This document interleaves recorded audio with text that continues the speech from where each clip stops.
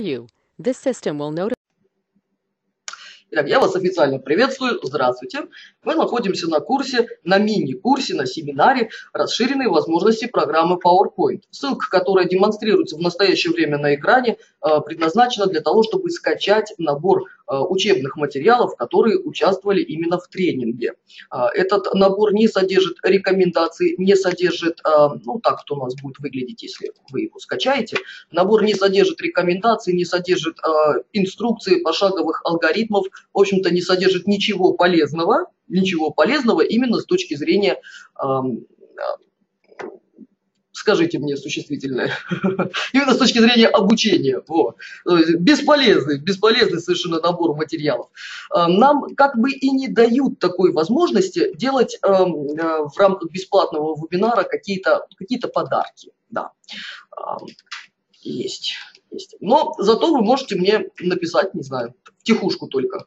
Можно мне написать на э, мою почту, вот, собственно, ваш преподаватель, это я, Инна Романова, и романова собака специалист.ру. Ну, если только я не занята с утра до вечера, э, я обязательно вам отвечу. Но я отвечаю обычно в течение рабочего дня, рабочих суток, могу в течение двух-трех дней ответить.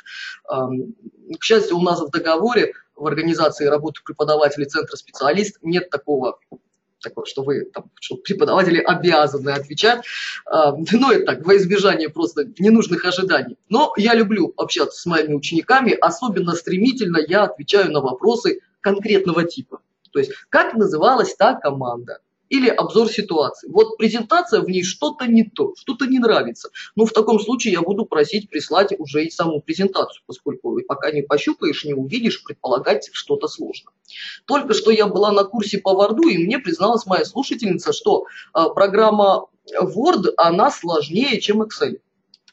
А, вот, вижу вскинутые брови, да, как бы э, сравнили, да, типа того. А, но тут э, контекст, контекст. В, Excel либо получилось, либо не получилось. И вообще преподавать Excel гораздо проще, чем любое другое приложение. Ну, разве что с программированием я могу это сравнить. Доказать человеку, что он не прав, можно элементарно. Нарушен синтаксис формулы, ты пошел куда-то не туда, э, ошибка от Excel вылетела, ну, в общем, ты не прав. Проблема PowerPoint и проблема Word, что, к сожалению, в этих двух приложениях можно сделать неправильно, через палку и веревку, но все-таки получить свой результат. И с точки зрения распечатанного документа, вот он, да, на руках, вот бумажка или формат формат PDF, да, никто не знает его прошлого, как его сделали, никто не знает, да и никому не интересно. А, поэтому при работе в PowerPoint, зачем вы сюда пришли? Позвольте мне я несколько так, предположу. Извините, конечно, но буду предполагать. А, я предположу, что, возможно, вы думаете, что что-то, что-то, может быть, что-то скрыто от вас, что можно как-то проще, как-то энергичнее сработать, что есть какие-то способы оптимизации документа ранее вам неизвестны, и я буду говорить о том, что есть, чего нет. Вопросы вы задаете мне в аудитории прямо. Если я на этот вопрос скажу я потом, значит я потом. Если этот вопрос, он вот прям будет прям к месту, к месту, к месту, и всего лишь продолжать и дополнять мою мысль, э, я отвечу на него сразу же. Уважаемые слушатели вебинара, подключенные к нам по интернету, э, я вам советую точно так же писать мне ваши вопросы в форму чата. Если ваш вопрос подогреет мой интерес, я скажу, позвольте я процитирую, и, или я даже не буду спрашивать. Давайте так, все, что вы мне пишете, это публично, да? А, я, если ваш вопрос мне понравится, я его озвучу в аудитории и а, проведу на него ответ. Если ваш вопрос потребует с моей стороны каких-то усилий в плане не по теме, там, потом пообщаться, то не отключайтесь сразу после тренинга, мы с вами пообщаемся. А, порядок нашего изложения материала следующий. То есть на что, на что было заявлена программа вебинара. А, во-первых, я хотел бы показать необычный вид импорта текста. Раз. А, существует несколько презентаций, а, несколько стандартов проведения презентации. И текстовая презентация, надо сказать, это уже как бы не круто. Никто не будет спорить со мной, да, что это фи. Не круто, да. Что мы хотим презентацию в духе storytelling. Это американская подача, когда фотография во весь экран, тут, знаете, момент поиска фотографии получается. В плане сервисов это, я думаю, что это несложно. То есть если вы а, в Гугле, а, Илья, Илья, Илья меня спрашивает, записывается ли вебинар. Илья, не пугайте меня, записывается же, да, вот у меня кнопочка старт рекординг была нажата. А, да, возможно, у вас тоже есть какой, какой-то индикатор на эту тему. Уважаемые слушатели вебинара, если вы видите какой-то индикатор, подтвердите, пожалуйста, мне заодно и Илье, что вебинар действительно пишется. Так, так, от себя я все сделала. от себя я все сделала. А, да, возвращаюсь. А, пишется, вот Дарья сказала. Видимо, там есть какой-то все-таки индикатор. Пишется, Ольга, о, вот меня поддерживает. А, а, так, с чего это я говорила? А, говорила о поиске фотографий. То есть с вашей стороны должен быть ресурс. Бесплатный, либо условно бесплатный и, ну, как бы плохонькие фотографии, которые у всех на устах можно найти на бесплатном режиме, или ныряйте в пиратство и пишите, ищите платные фотографии но добывайте бесплатным образом, что крайне не советуется по отношению к публичным презентациям. Потом тут придет и скажет, ай-яй-яй, ну ко мне ни разу не пришли за 10 лет, ну мало ли что-то может меняется в этом мире. А, то есть весь, вся суть такой презентации – это фотография, которая должна быть эмоциональная, вкусная фотография, она должна вот прям бить в душу, цеплять, от нее должно вот просто мурашки идти. А, но, к сожалению, никто из великих, а, Алексей Кавтерев, наш местный, Нэнси Дуарте, Франция, Джинджи Лязны, Америка и прочие умные ребята, они не пишут о том, как выбирать фотографию. Они пишут, как выбирать цифровую диаграмму, как выбрать схему. Но поиск фотографии, вот той самой, да, она остается за вами, за вами. Все, да. То есть весь стандарт американской презентации – это выбор ярких фотографий с небольшим добавлением инфографики. Есть инфографическая презентация, суть которой значки, значки, значки, значки, значки. Откройте сейчас любой веб-ресурс, там ипотека и так далее, да, просматривайте, видите, там все из значка. Куда-то мы в наскальную живопись скатываемся, куда-то туда, вот в египетские иероглифы, да, повернула мысль человеческая обратно в знаки. Это сейчас модно, это сейчас используется. Да, пожалуйста. Но стандарт текстовых презентаций, как это ни странно, он до сих пор жив. Более того, мысль человеческая может однажды повернуть и туда. А вот теперь я, основываясь на пункте 1, хочу поговорить с вами о подготовке текста. Затем мы с вами будем обсуждать пункт 2 и прочее. Сейчас я открываю я открываю папочку с набором материалов. Так. Угу. Так, есть. Семинар. Угу. И открываю файл 01 документ для импорта. Э, PowerPoint э, – это моя основная работа. В центре специалист я оказалась по направлению, ну, то есть как я пришла, как я начала работать лет 10 назад. Сначала я работала в направлении э, базовая компьютерная подготовка, затем Photoshop, э, затем программа Word, Excel, да, вот эти все программы тоже были. А PowerPoint как-то пришел, и нечаянно я стала по нему специалистом. Это унизительно, я так скажу. То есть мне хотелось бы стать специалистом по Excel, да, это более звонкое, но я специалист по PowerPoint.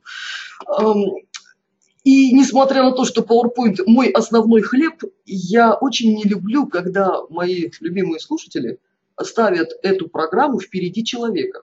Такого быть не должно. То есть вы главный, вы формируете структуру презентации, последовательность слайдов, вы ее рассказываете, а само оформление нет, нет. Мне больше нравится, когда люди говорят о, говорят о том, что правильная, хорошая структура, логично, схематично, а, ну вот именно к контенту имеют отношение, а не к ее украшению. И поэтому я предлагаю всем и моим ученикам в том числе а, сначала даже не делать этого в PowerPoint, а сначала сделать это в программе Word.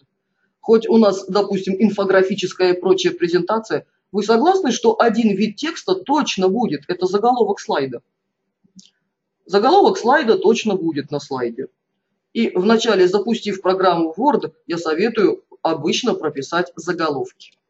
Вот сейчас продемонстрирую вордовский документ. Я понимаю, здесь издалека не очень понятно, но, может быть, будет с вашей стороны предположение. Скажите, пожалуйста, а каким именно образом оформлен этот текст? Стили. И не просто стили, а стили структурные. Вот, кстати, Word часть вторая вот об этом. Стили структурные формируют структуру документа, а структура это дело такое, что оно вышагивает за пределы программы и создает как бы отношения между PowerPoint и Word. Причем с точки зрения техники назначить стиль это ничего не стоит. Вот нет стиля, обычный черный текст. Если мне нужно назначить стиль первого уровня, то я вот просто выделяю кусочек текста и ткну вот на этот заголовок 1.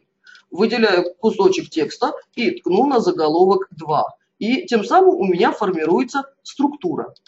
С точки зрения программы Word это не очень имеет смысл, но это имеет смысл с точки зрения программы PowerPoint. Ведь, я прогнозирую будущее, заголовок первого уровня, как стиль, будет работать так. Он создаст слайд сам. Я даже слайды не буду создавать. И в свою очередь эта фраза встроится в заголовок слайда. Заголовок второго уровня будет представлять контент этого слайда. Вот весь текст. До следующего заголовка первого уровня.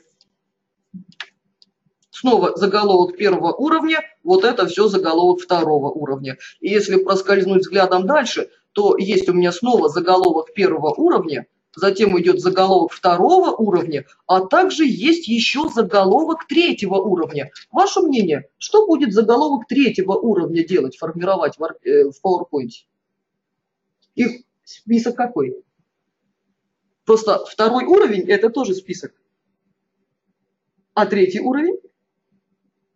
Подсписок. Подсписок. Ну, обзывайте это как хотите. Второй уровень списка, вложенный уровень списка и так далее. Всего в программе Word аж 9 уровней заголовков, а в программе PowerPoint э, тоже полным-полно уровней текста. То есть сначала нас ждет вот такая прихотливая обработка то, что должно пойти на заголовок слайда, заголовок первого уровня, то, что должно пойти на заголовок, э, на, на контент слайда, заголовок второго уровня. Вложенный уровень списка формируется уже третьим и четвертым и так далее уровнями списка. Затем этот вордовский документ безжалостно закрывается. Очень важно, чтобы он находился в закрытом состоянии. И я на ваших глазах запускаю программу PowerPoint. Вот она, чистенькая, беленькая. Создаю чистый белый бланк по умолчанию.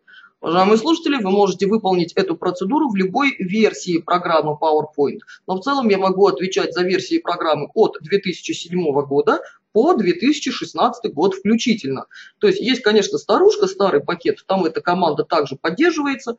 Я говорю о совсем старом пакете, да, 2003 года, но я даже не помню этой команды. Не могу ее буквально назвать. Все остальные версии работают одинаково. Затем я в новорожденной вот программе, ничего здесь у меня не открыто, PowerPoint запущен с чистого листочка, выполняю следующее действие. Команда «Создать слайд» разворачивается через стрелочку, и далее выполняется команда «Слайды из структуры». Slides from outline, если работаем на английском интерфейсе, slides from outline. Суть этой команды всего лишь получение доступа к вордовскому файлу. Суть этой команды поиск. То есть как только я сейчас нажму на эту команду, моя задача просто дойти до документа э, и дважды щелкнуть по нему. То есть я должна знать всего лишь, где он располагается и как он называется. А, вот. Иду, иду на ваших глазах. Слайды и структуры и иду. Я иду на свою флешку, открываю семинар, и вот он документ для импорта. Формат документа docs. docs. Или а, стопроцентно будет работать RTF. Тут такой тонкий момент, что если я об этом скажу, надеюсь, на меня в суд не подаст компания Microsoft, а, они как бы не признают этой проблемы, что DOCS формат может выкидывать ошибку, а RTF работает 100% всегда, независимо от платформы. Это может быть а, платформа а, Windows, а это может быть Macintosh, будет работать. Какие-то проблемы, какие-то ошибки могут быть только с DOCS. То есть, если DOCS у вас не пройдет, значит RTF, Rich Text Format, так расшифровывается формат файла, пройдет стопроцентно. То есть если сейчас у меня будет глюк, что мне нужно сделать? Открыть его и файл сохранить как? Просто пересохранить в формате RTF. Ну, даже сейчас посмотрим, будет глюк или не будет. Указываю документ, жду. Если вдруг импорт не состоялся, было вынесено какое-то окошко, значит тому причина либо вы, потому как все-таки импорт это должен происходить при намертво закрытом вордовском файле. Если вы делаете буфер обмена, копировать, вставить, то файлы у вас открыты. без разговоров. А вот некоторые виды подключений, они строго при закрытом состоянии выполняются. И вот только что у меня все получилось. А если бы не получилось, я просто Word бы пересохранил. Последний слайд с гиперссылками, вот этот вот, я удаляю, восьмой, старые новости, все время забываю удалить. Первый слайд я заполню как знакомство с компанией специалист.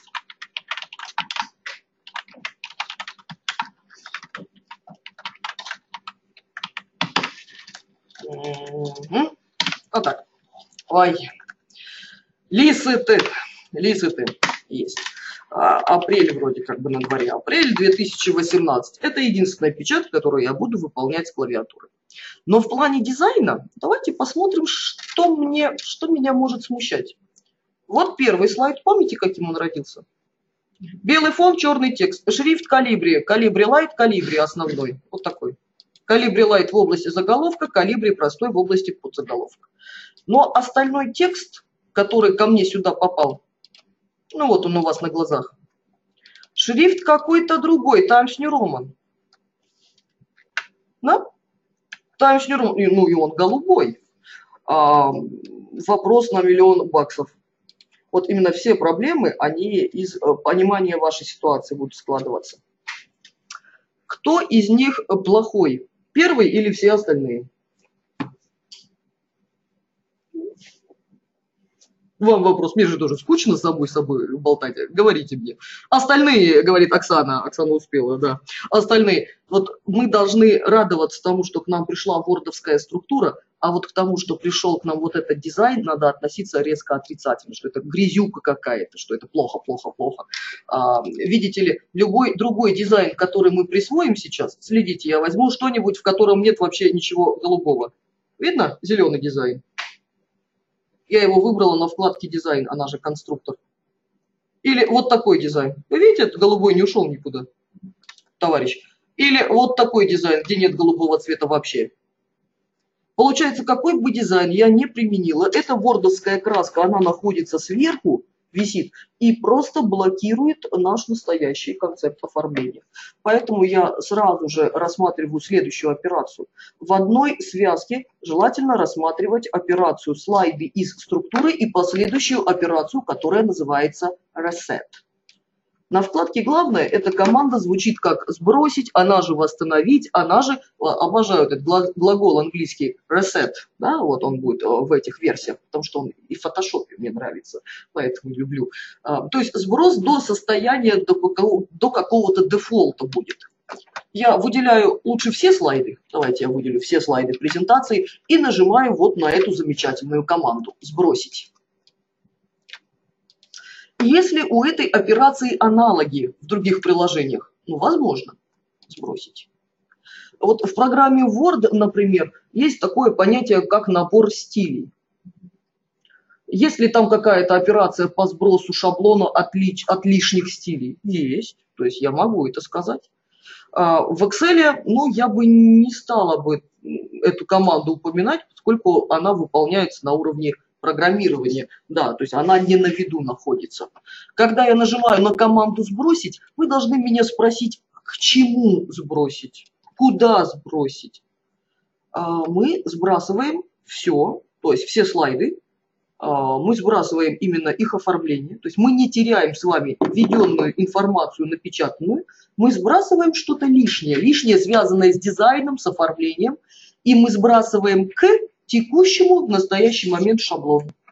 Если я пройду на ваших глазах на вкладку «Дизайн», то на вкладке «Дизайн» текущий шаблон – это самая первая формочка, которая ну, называется официально тема оформления. Но я не буду скрывать, что это не весь шаблон, это только часть шаблона. Но это самая выразительная, самая яркая часть шаблона, на которую мы сразу обращаем внимание. Это одежка презентации ее оформления, основной концепт. А кто решил, что именно вот этот шаблон у нас? Я решила, когда запустила PowerPoint и выбрала вариант пустой презентации. Потому как белый фон и черный текст – это тоже оформление. И есть э, такие люди, которые говорят, что это может быть даже самое лучшее э, оформление вообще. Минимализм сейчас в моде, Поэтому белый фон, черный текст – это совсем даже и неплохо. Скучненько, да, но зато да, рационально. Я избавила все мои слайды от оформления. Так. От лишнего вордовского оформления. Затем я хочу немножечко здесь поменять макеты. Так. Для начала создам еще один слайд, закрывашку в конце. И макет этого слайда буду выбирать титульный. Макет – это отдельная головная боль. Команда макет, она же layout, что располагается на вкладке «Главное», эта команда может игнорироваться вами, а, поскольку PowerPoint э, вы проходили самостоятельно. Кто самоучка? Ага, ага. Я просто сама руку тяну, да. Меня не учили этой программе. А, то есть, а чего там учиться, да, это самое примитивное приложение всего пакета Office. Сел, да работаешь. Но потом вылезают какие-то мелочи в работе. Команду макет мы не можем же провести с, с Word, с Excel никаких аналогий. Там нет такой команды. А дело в том, что вот это все, это часть шаблона. Макет надо уважать хотя бы по такой причине, что вот вы так делали, выделить и уничтожить вот эти макетные коробочки клавиши Delete. Делали, делали, я сама так делала. А команда сбросить вернет их обратно. Более того, представьте себе, что команда сбросить нажимается без вашего на то участия. Я не программист, чтобы объяснить вам грамотно, почему и как это происходит, но могу отметить, что пересылка по почте, перенос на флешки, публикация, презентация в интернете, обновление связи, мало какие действия приходят к тому, что каждый слайд стремится к своему состоянию. И надо подружиться с командой макет хотя бы для того, чтобы правильно удалять макетные поля. Видно пустой? Это абсолютно правильный, шикарный способ работы. Если у вас есть такая хорошая привычка, значит вы уже избавлены от э, ненужного, э, ну, от ненужного, извините за сленг, косяка, э, да, который можно организовать себе сам себе. Я выбираю макет титульный. По мнению таких дизайнеров, как Алексей Каптерев, ну, это как бы представитель а, российского направления изготовления презентаций, один из, то такая фраза, как «спасибо за внимание» или «благодарю за внимание» – это ненужный слайд. Типа, не нужно его делать, это глупо выглядит. Я пытаюсь смягчать те слова, которые используются. Да? Вот вы можете их по-другому немножко сказать что это не нужно слайд. Такой слайд бессмысленный, в нем нет промышленной ценности для потребителя. Что вы словами можете сказать. Что там в подзаголовке рисуется слово? Вопросы, да? Вопросы. Вот тоже не нужно. Сделать его слегка полезным для народа вы можете тем, что хотя бы обозначить, а, а кто вы такой, да, что за человек выступал только что. Вы представились в начале наверняка, но когда вы покидаете аудиторию, люди хорошо к вам относятся, но, скорее всего, просто уже не помнят, как вас зовут. Поэтому напомнить об этом в конце и дать контакты, это хоть как-то этот слайд обосновать. Вот. Есть также корпоративные стандарты, в которые я не вмешиваюсь. Это каждая компания решает по-своему. Хорошо это или плохо, лучше соблюдать просто правила работы вашей организации. Также я хочу поменять макет на четвертом и на пятом слайде. У меня очень простая мотивация – Длинный список, размер текста сужается, плохо. То, что размер текста вообще уменьшается, определяется самим макетом. Опция здесь такая стоит по умолчанию. Видно, вот она. Изменять размер текста по ширине. Вот такая штука. Она всегда стоит по умолчанию. Если я не буду изменять размер текста по ширине, то этот текст просто вываливается, и что с ним происходит дальше, PowerPoint абсолютно все равно. Вот поэтому пусть будет, пусть стоит. Но я поменяю макет. Макет выбираю два объекта. И далее я текст выделяю немножечко, перетаскиваю техника хватай, таскай, drag and drop в соседнее вместилище. Повторяю связочку. Пятый слайд. Макет, два объекта. Текст выделяю от 1С и ниже и перетаскиваю в соседнюю емкость. Это позволит мне лучше использовать рабочую площадь. Эта презентация останется текстовой. Если нам нужна инфографическая презентация или американская презентация, я думаю, что я запишу подобные ролики. Но пока у нас упор происходит э, на работу в слайд-мастере, в образце слайдов, то бишь. И эта презентация с точки зрения демонстрации нас полностью будет устраивать. Я даже сохраню ее в таком состоянии, сохраню и продолжу работать с ней. Угу, есть. Сначала э, маленькое объявление, что все объекты в PowerPoint можно подразделить на два основных типа. Посмотрите ко мне на экран, если желаете. Есть объекты, которые находятся в макетах. Это заголовок, это вот этот контейнер, да? То есть, если текст попадает сюда, значит, он будет подвержен влиянию команды макет. Но есть и объекты, которые не вставляются в эти места. Они как бы висят сами по себе. Это могут быть прямоугольники или текст скопирован куда-то э, или вставлен командой надпись. Эти объекты не будут подчиняться тому, чему я собираюсь вас учить. То есть прям скажите себе стоп. Скажите себе стоп и спросите. А, вот у нас с вами вебинар, да? Вебинар, семинар. Я собираюсь вас научить расширенному PowerPoint. Но, но, но, но, все это будет работать только в макетном управлении. Если у вас макет пустой, и объекты здесь будут расположены, таблицы, диаграммы, текстовые надписи и так далее, но все эти объекты будут искусственные, мне вам нечего предложить. Надо только уметь э, уже программировать. Придется программировать, чтобы обрабатывать такие объекты массово, да, там везде поменять размер текста только в макетах можем. Мы не можем делать это по отношению к искусственным объектам, они нас просто не, не будут чувствовать нашего управления. Так что это выбор пути, и выбор пути, ну, надо представить себе китайский иероглиф «до». То есть это вот прям основательный путь, который повлияет на всю вашу работу. Пока я работаю в макетных объектах. И далее следующий шаг – это выяснение каждого макета по отдельности. Первый слайд у меня какой макет, предположите? Титульный. Да. Почему я так думаю, что вы мне скажете? Потому что это просто умолчание со стороны программы. При запуске PowerPoint титульный макет формируется сам. На последнем слайде тоже титульный, но это потому, что я уже так захотела. Ну, я его присвоила. Макет титульный. Большая часть слайдов обладает макетом, который у нас называется заголовок и текст. Кстати, этого макета не было, он возник в результате импорта текста. Есть такой ну, появляются макеты самостоятельно из-за некоторых операций. И вот посеред... посередочке, четвертый и пятый, это макет два объекта. Вот такой анализ, а именно знать, какой слайд с каким макетом оправдает ваши дальнейшие ожидания. То есть от этого можно предъявлять требования. Далее. Далее я собираюсь ставить задачи. Перед простановкой задач позвольте мне вставить колонтитулы и объяснить, что колонтитулы бывают трех основных типов которые вы можете прям увидеть своими собственными глазами. Есть колонтитулы обычные. Есть колонтитулы, которые колонтитулами не являются. Это надписи. Вы видели такое? Маленькие надписи, написано Романова Инна, финансовый комитет 2010. Не выделить, не удалить эту прямо-таки заразу не получается. Не называйте ее словом колонтитул. Чисто технически она им не является. То есть берите в кавычки, да, неподвижные колонтитулы, скажите, но это необычный. А, я научу вас делать такие и удалять чужие. Вообще без проблем. А, есть э, неподвижные части объекта явно декоративного характера, например, логотип, там какая-то стеночка, спиночка. По своему характеру это те же самые надписи. А, есть эм, макросы, да, есть макросный э, вид нумерации. Вам когда-нибудь хотелось сделать такое? Слайд второй из 20.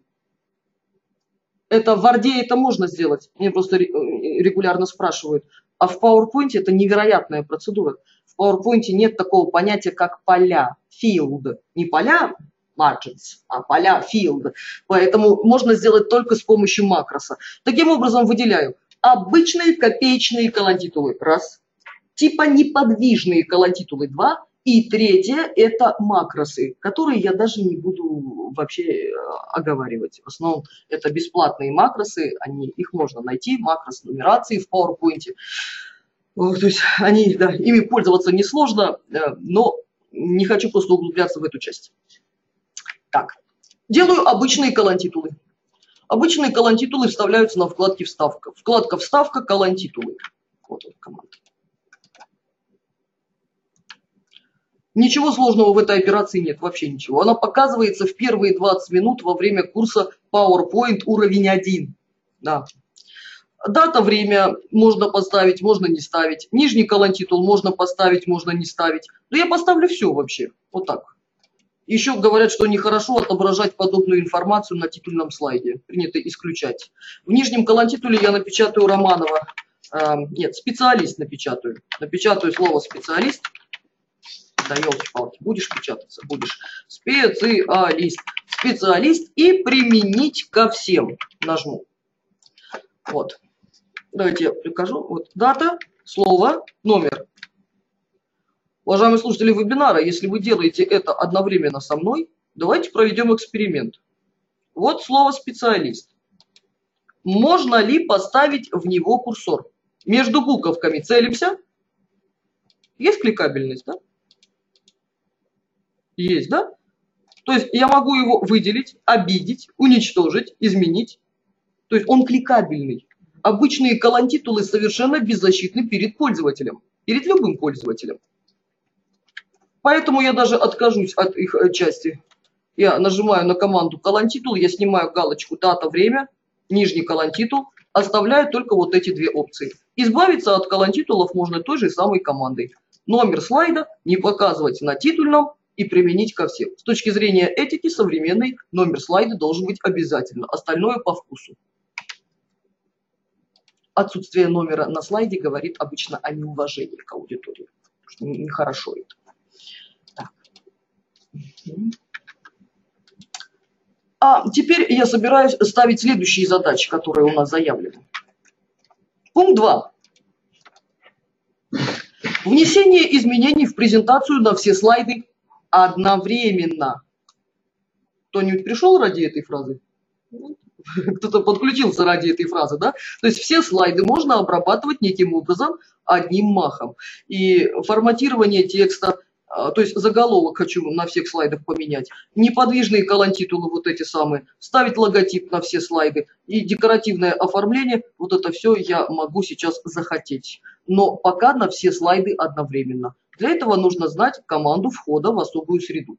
Вы можете называть ее как команда для создания подложки, ну, в общем, как угодно. Э, чисто технически она называется образец слайдов или слайдмастер по-английски. Вход в эту особую среду осуществляется на вкладке «Вид». Сейчас все будет перед вами. Вкладочка «Вид» и команда «Образец слайдов». Она же будет как слайд-мастер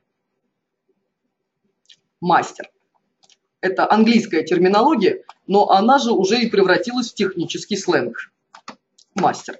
Мне даже не, не очень нравится слово образец русское. Семантически оно мне не очень, не очень приятное на вкус. Образец, ну как будто пробник, да, вот там, в литуале образец. Там.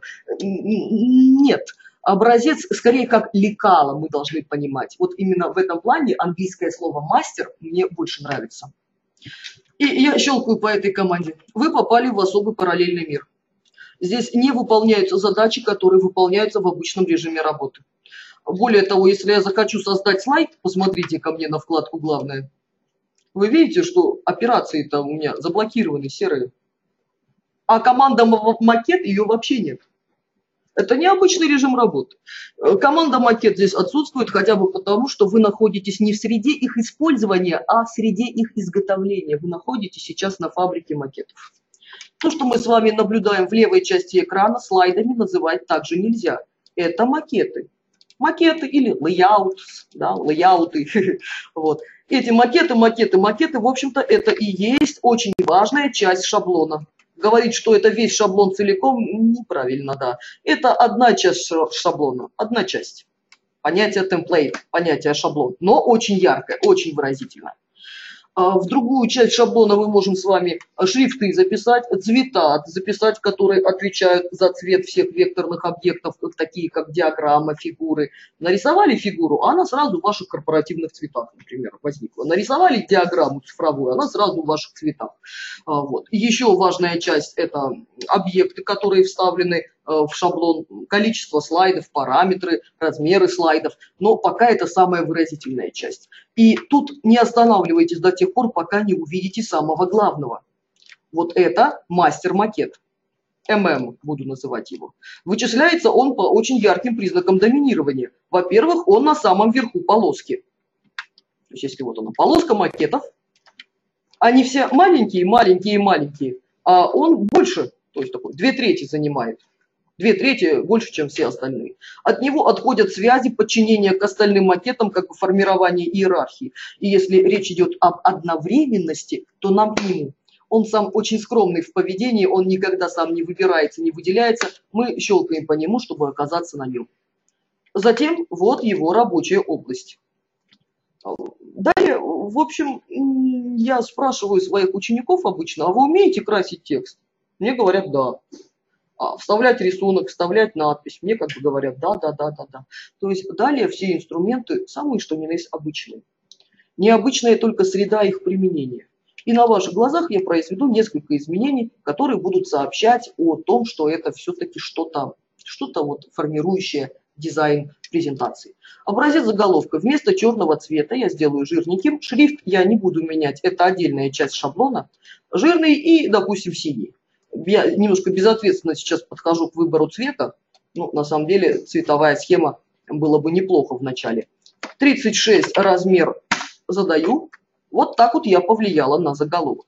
Весь остальной текст в центральном контейнере я не буду обрабатывать с точки зрения размера, это скучно. Ну, по идее, можно, да, вот каждому уровню текста можно присвоить размер, цвет и так далее.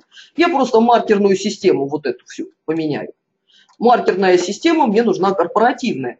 Команда маркеры, она же список, который находится на вкладке «Главное» как в Word, так и в PowerPoint. Далее список прохожу, далее хочу конкретный рисунок. И этот конкретный рисунок я сейчас найду. Найду на своей флешке в папке семинар bullet. Так будет называться мой файл, формат файла PNG. Ну и JPEG, GIF, BMP, TIFF, все что угодно, лишь бы графический формат. Вставляем. Вот такой вид получился. На все уровни текста один и тот же значок. Это новинка минимализм тот самый. Но если вам хочется, чтобы у вас по-разному это было оформлено, да, там всякие разные значки, вам придется каждый уровень текста выделять по отдельности. Угу. Далее. А, колонтитулы, которые находятся внизу, я тоже покрашу. Тем же самым цветом текста, что и цвет заголовка. Согласно этике, номер слайда должен быть побольше. И этот номерочек, вот он, видно? Чисто как текстовый символ я произвожу выделение и размер текста сделаю двадцаточку. Это сейчас популярно. Увеличиваю размер номера просто как размер текста. Ограничений я не помню в плане величины. Вот маленьким он не должен быть, а вот чем больше, тем лучше. Это да. Видела размер для номера 50 пунктов. Вообще делайте его запредельным, тоже будет неплохо.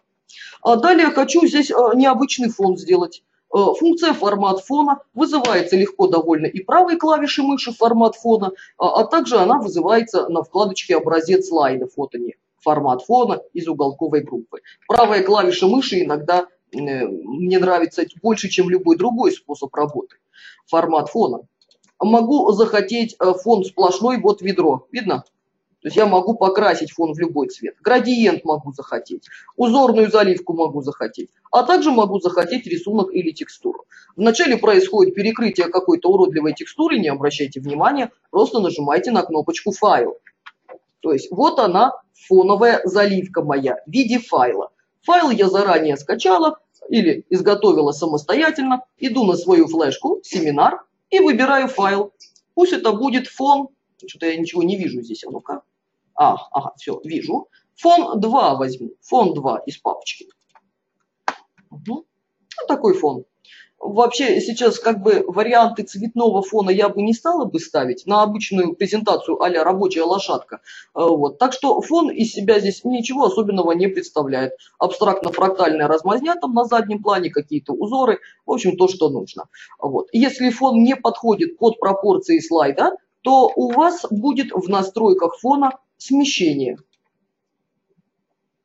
Минус 17, минус 17. Обнуляю. 0, 0. Его, конечно, немножечко подплющит, но зато фон будет отображаться целиком. Да, смещение именно в том случае, если формат фона у меня был 4 на 3, а слайд 16 на 9. Вот так получается. Обнулив смещение, я имею визуально фон целиком. Видно, да, что он вот он, целиком. Я бы не стала бы этого делать, если бы на фоне у меня отображались бы какие-то органические объекты или точные конструкции. Особенно если там были люди, особенно если бы дамы. Я себе такого не позволила бы, да, это непростительно, если кого-то там вот сплющить. Нехорошо, нехорошо. Ну, да, инженерные здания, я все уважаю, ребята, да, сразу давайте, да, не ставьте на мне крест. Но так как это, ну, не относится к ярко выраженным корпоративным элементам, так как здесь нет логотипа, то ничего страшного страшного. Обратите внимание, что я по-прежнему нахожусь на мастер-макете. Все действия на нем. Что мне осталось сделать? А я логотип ставлю. Логотип по факту это просто иллюстрация обыкновенная. Команда на вкладке «Вставка». Рисунок. Рисунки здесь напишем. Insert Pictures.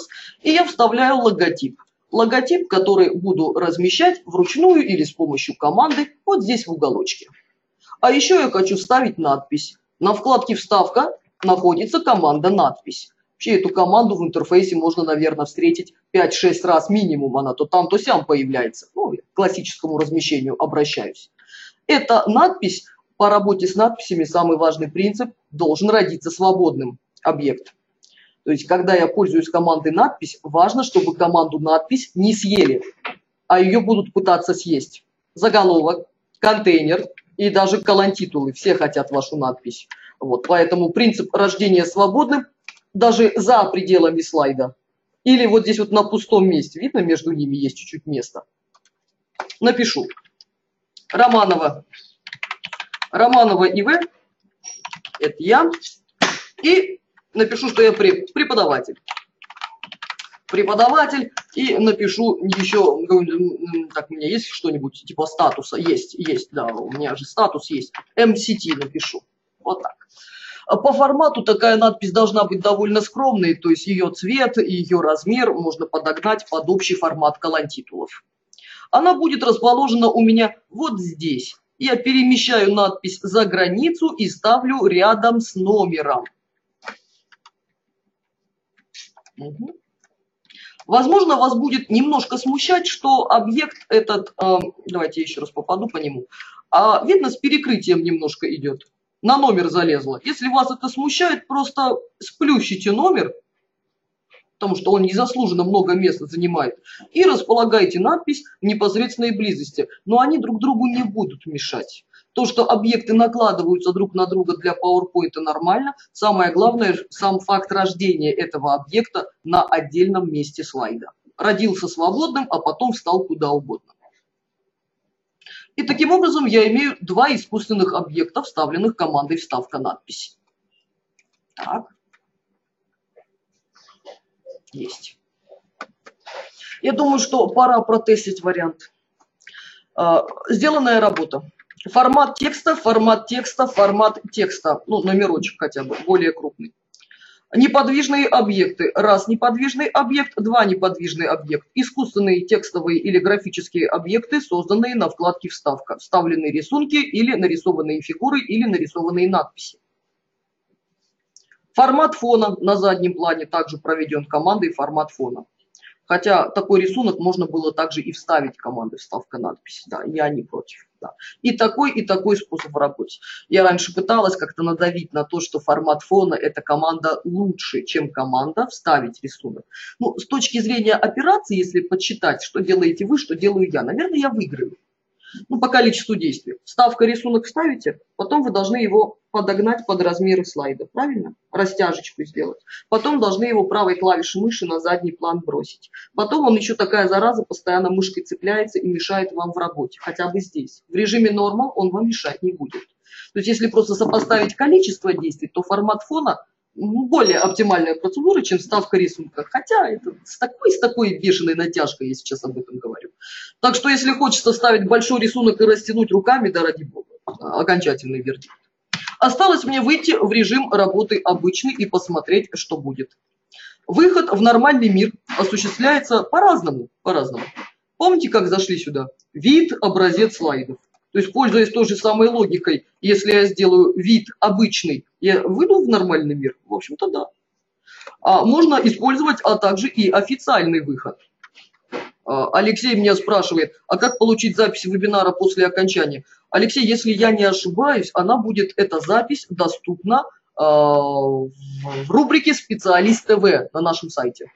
То есть вы ее считаете, что уже получили, но только не немедленно, на это затратится какое-то время. Неделя, две, вот, уточните у вашего менеджера. На вкладочке «Образец слайдов» находится вполне себе официальный выход. Режим, э, закрыть режим образца. Вот он. Но мой любимый способ это вот сюда. В правом нижнем углу программы, в любой версии вообще, находится 4 режима работы. Самая первая кнопочка это режим обычный, похож на э, окно, да, такое, форточка. Вот я на него нажимаю, и независимо от того, какая у меня лента, что у меня открыто, я перехожу в обычный, ну, то бишь нормальный мир. Давайте посмотрю. Все слайды моей презентации. Так, первый пошел. Второй, третий, четвертый. То есть могу ли я заявлять о том, что они сейчас все одинаково оформлены? Наверное, да, да? все могу. Фон везде одинаковый, положение элемента везде одинаковое, а, все везде одинаковое. И, а, в общем-то, принцип, по принципу минимализма, если мы работаем по современной моде, то все очень круто. Пытаюсь пошевелить слово специалист. Вот если не верите, подойдите ко мне, да мышку мою пошевелите, потрогайте, пощупайте. Не, не двигается это слово, не цепляется, не цепляется, не получается. Вот заголовок двигается, да, вот сбросить, а, обратно поставлю. Заголовок двигается, а это нет. Вот номер тоже двигается, номер двигается, обратно сброшу его положение. А вот эта надпись нет, не двигается. А, получается, говорить